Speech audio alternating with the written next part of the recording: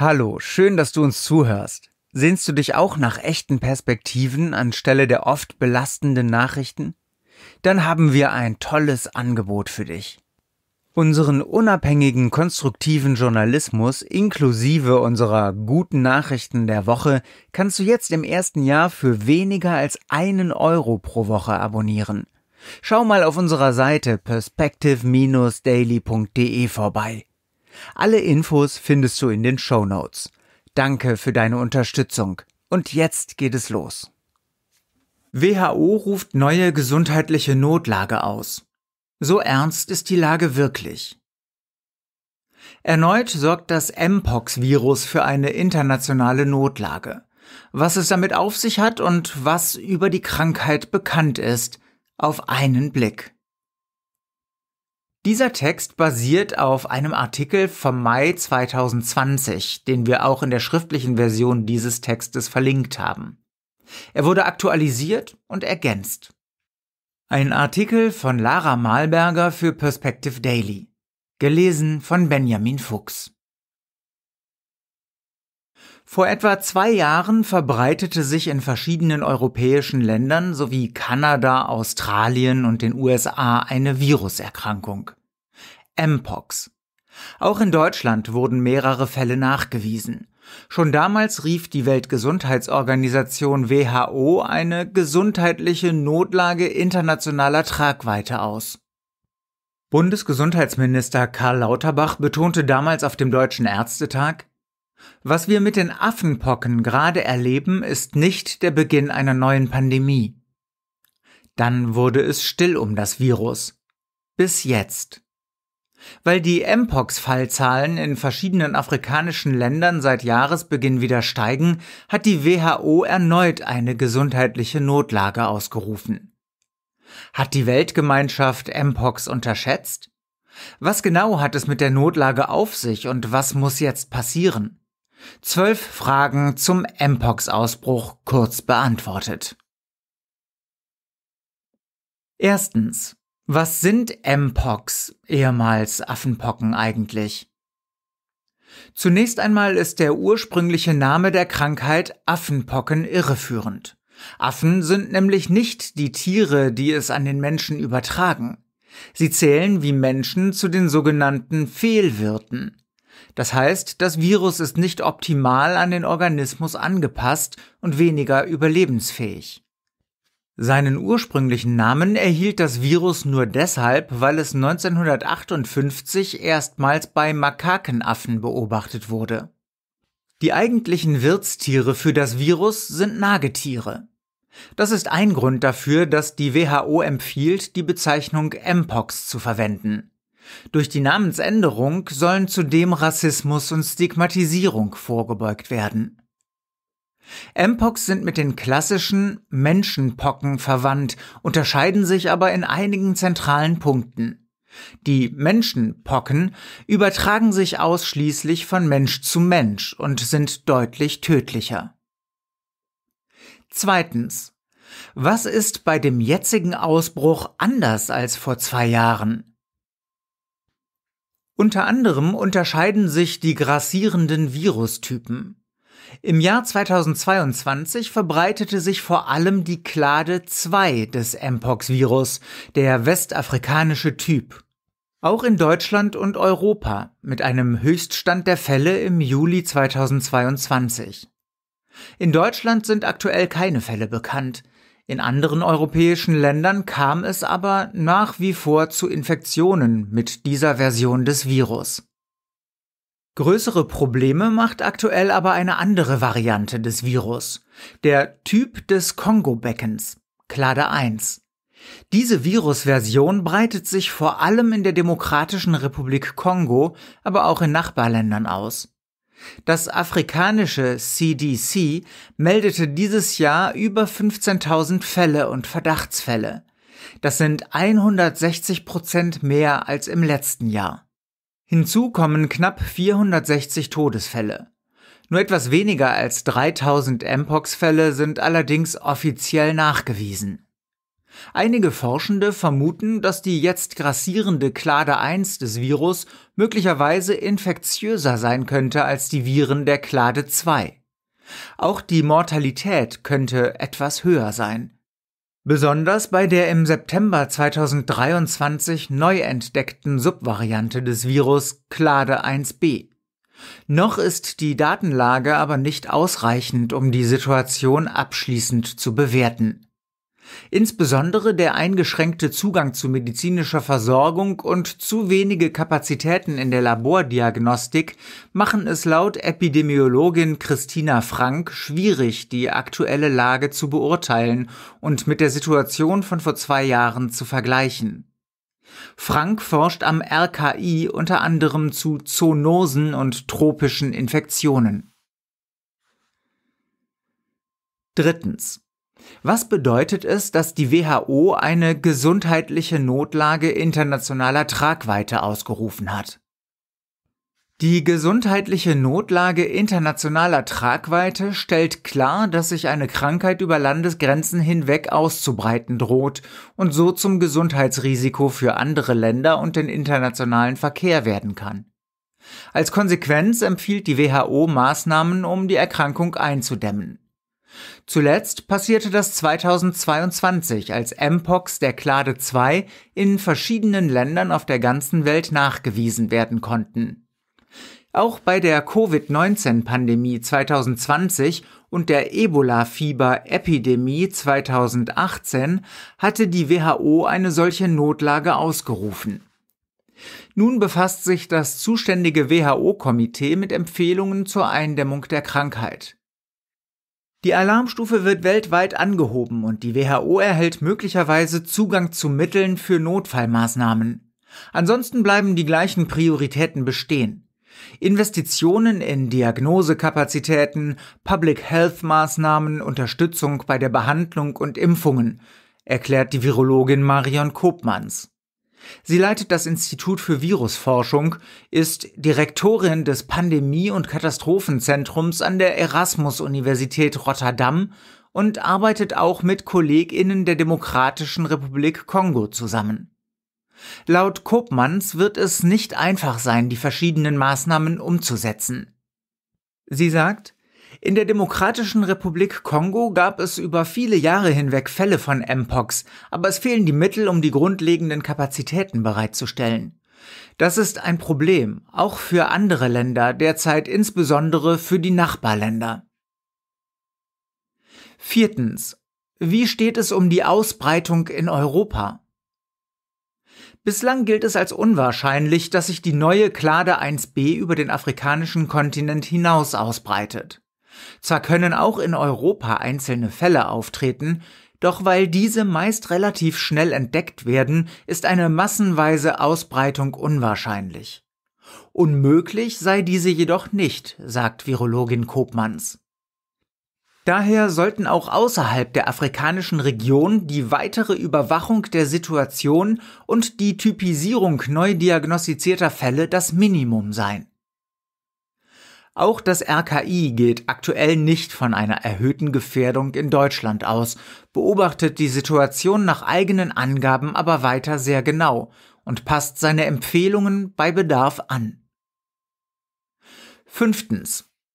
War es übertrieben, eine solche Notlage auszurufen?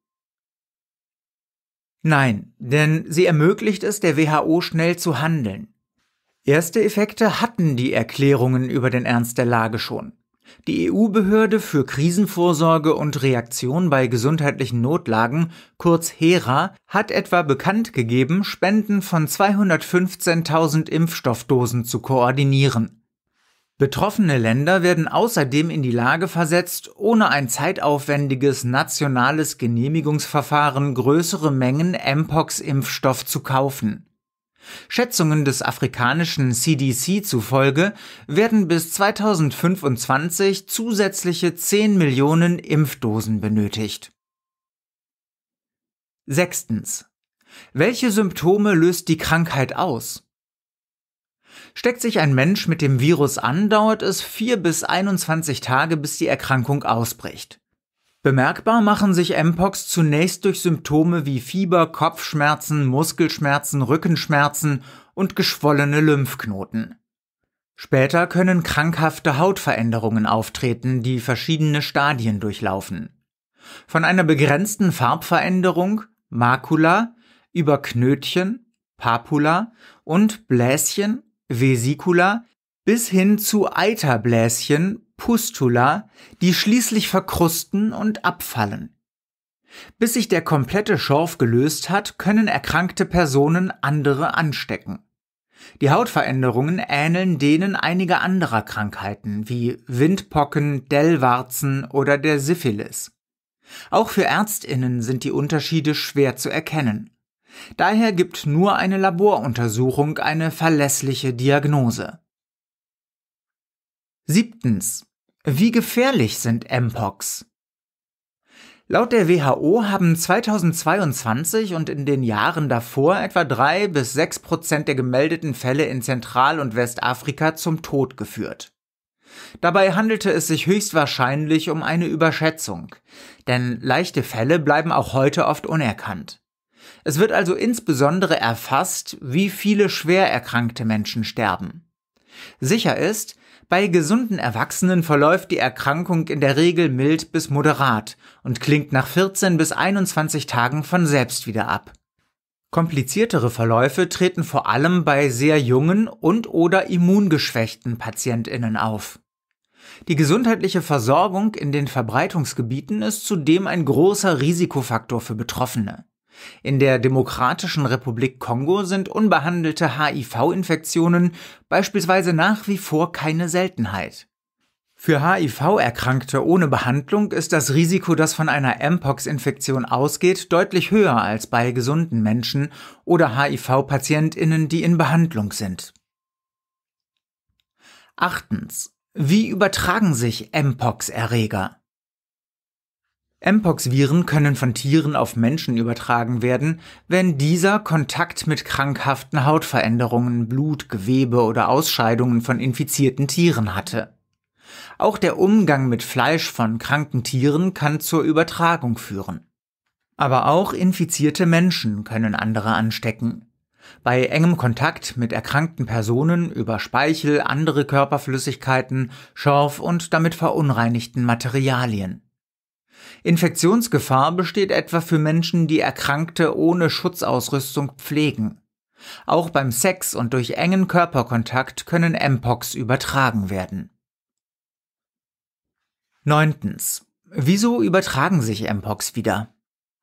Seit 1970 die ersten Fälle der Erkrankung bekannt wurden, ist die Zahl der Infektionen mindestens um das Zehnfache gestiegen. Zudem hat sich das mittlere Alter der Betroffenen von 4 auf 21 Jahre erhöht. Warum das so ist, wissen Forschende noch nicht genau. Allerdings gibt es erste Theorien. Ein möglicher Grund? Seit den 80er Jahren werden kaum noch Menschen gegen die Menschenpocken geimpft, weil die Krankheit seitdem als ausgestorben gilt. Die Impfung schützt aber zum Teil auch gegen Mpox. Der nachlassende Impfschutz in der Bevölkerung könnte es den Viren nun leichter machen, sich auszubreiten. Ein weiterer Faktor, der eine Rolle spielen könnte, ist die Entwaldung von Regenwäldern, die überall auf der Welt voranschreitet. Mittlerweile belegen auch Studien, dass die Abholzung dazu beiträgt, dass sich Zoonosen ausbreiten, also Krankheiten, die von Tieren auf Menschen übertragen werden. Eine Erklärung dafür in abgeholzten Gebieten gibt es weniger Artenreichtum, wodurch beispielsweise Nagetiere weniger Fressfeinde haben und sich leicht vermehren können. So kommen sie auch eher in Kontakt mit Menschen und können Krankheiten an diese übertragen. Die Globalisierung erledigt den Rest. Weil Menschen um die ganze Welt reisen, verschleppen sie Viren viel schneller über die Kontinente als früher. Zehntens. Können sich Mpox so ausbreiten wie das Coronavirus? Höchstwahrscheinlich nicht. Das Virus überträgt sich nicht über die Atemluft wie das Coronavirus. Das macht die Nachverfolgung von Kontaktpersonen deutlich leichter. So kann das Virus in der Theorie gut eingedämmt werden, vorausgesetzt natürlich, es wird rechtzeitig diagnostiziert. Außerdem handelt es sich bei Mpox um ein DNA-Virus, während Coronaviren RNA-Viren sind. Das Erbgut von DNA-Viren ist stabiler, weshalb die Viren weniger leicht mutieren. Dadurch sinkt die Wahrscheinlichkeit, dass schnell neue Varianten des Virus entstehen, die ansteckender sind, wie es beim Coronavirus der Fall war. Gänzlich ausgeschlossen sind Mutationen jedoch nicht, betont etwa die Virologin Marion Kopmanns. Wie andere Viren können sich auch Mpox-Viren weiterentwickeln, wenn mehr Möglichkeiten zur Ausbreitung vorhanden sind. Pockenviren können ihre Eigenschaft ändern, wenn Teile ihres Genoms verändert werden, so Kopmanns. Auch deshalb ist es wichtig, Infizierte schnell zu erkennen, damit sich keine weiteren Personen aus dem engen Umfeld anstecken. Erkrankten sowie engeren Kontaktpersonen rät das RKI, sich für 21 Tage zu isolieren und gegebenenfalls impfen zu lassen. Elftens. Gibt es Impfungen? Ja. Seit 2022 ist in der EU der Impfstoff Imvanex für die Impfung gegen Mpox zugelassen. Seit 2013 ist er als Pockenimpfstoff zugelassen. Bei dem Vakzin handelt es sich um eine neue Generation von Pockenimpfstoff, der weniger Nebenwirkungen verursacht als frühere Impfstoffe. Die Ständige Impfkommission empfiehlt eine Impfung gegen Mpox in Deutschland unter anderem für folgende Personengruppen. Menschen, die Kontakt mit dem Virus hatten. Bis zu 14 Tage nach Viruskontakt können sich Betroffene ab 18 Jahren impfen lassen. Das gilt insbesondere für enge Kontakte. Bei örtlichen Infektionshäufungen. Sollte es zu einem lokalen Ausbruch kommen, wird die Impfung auch Erwachsenen empfohlen, die keinen bewussten, direkten Kontakt zu Erkrankten hatten. Männer über 18 Jahre, die Sex mit Männern haben, MSM, und häufig ihre Partner wechseln. Hier ist eine Anpassung bei geänderter Risikolage möglich. Aktuell gibt es beispielsweise im Kongo auch vermehrt Ansteckungen über heterosexuelle Kontakte. Personal in Speziallaboren, das mit infektiösen Proben arbeitet. Für Schwangere sowie für Kinder und Jugendliche wird der Impfstoff derzeit aber nicht empfohlen. Hier fehlen noch Studiendaten. Auch eine medikamentöse Behandlung der Krankheit ist möglich. Sie erfolgt eher unterstützend und symptomatisch, etwa mit Hilfe von Schmerzmitteln und Zinktinkturen für die Behandlung der Hautläsionen. Es geht vor allem darum, eine Superinfektion mit Bakterien zu verhindern. Es gibt auch antivirale Medikamente, die jedoch noch nicht breit verfügbar sind. Zwölftens. Müssen wir uns also sorgen? Aktuell besteht kaum Grund zur Sorge, dass Mpox eine neue Pandemie auslösen. Es handelt sich weder um eine Krankheit, auf die wir völlig unvorbereitet sind, noch droht eine unkontrollierbare Ausbreitung des Virus. Das Infektionsgeschehen im Auge zu behalten, auf mögliche Symptome zu achten und mehr über den Grund für die Infektionen herauszufinden, ist trotzdem wichtig. Noch wichtiger ist es, über den Tellerrand zu schauen.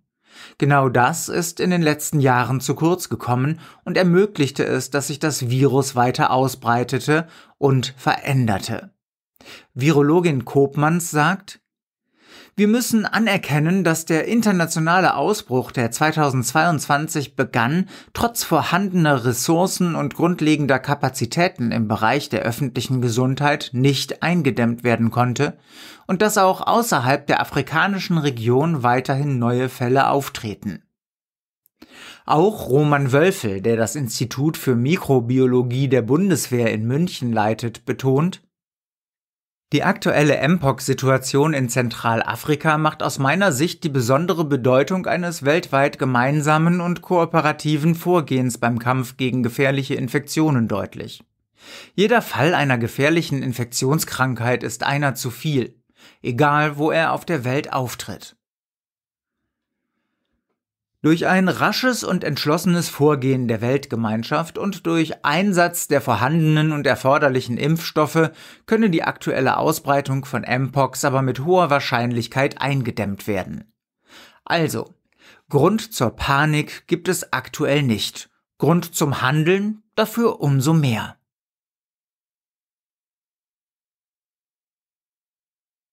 Wenn du jetzt Lust auf noch mehr konstruktiven, unabhängigen und werbefreien Journalismus bekommen hast, schau auf www.perspective-daily.de vorbei und teste uns zwei Wochen gratis. Mehr Infos findest du auf unserer Website und hier in den Show Notes. Bis bald bei PD.